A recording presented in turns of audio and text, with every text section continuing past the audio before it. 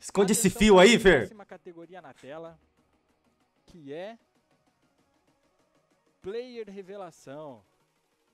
Tem aí, ó, quatro figuras do nosso cenário. Vitali, Ah, não tem como, pô. o nosso menino aqui que parece a Maria Gadu, hoje jogando na Inco, é um Filha jogador que a gente sabe do potencial, assim como o Diego, que hoje tá na Vivocade. São dois jogadores que eu não tenho dúvida que vamos escutar falar muito aí em 2022.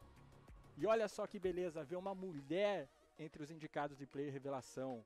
Ela mesma, Diane. Diane que joga muito. Dianezinha, não tem nem palavras. E do lado dela, o Os namorado. caras tiveram que mudar. Os mítico. caras que tiver, tiveram que mudar a câmera pro Fer, pro Fer olhar certo pra câmera. Olha pra frente, Fer. MVP do Mundial. Aí, porra, alguém apontou. É aqui, representando a Rise.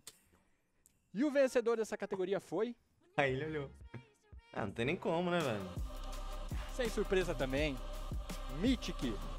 Super Um realzinho, um realzinho. Já aumentei um realzinho Mythic já, aí que foi MVP da PMCO do primeiro split do Brasil esse ano, do primeiro semestre.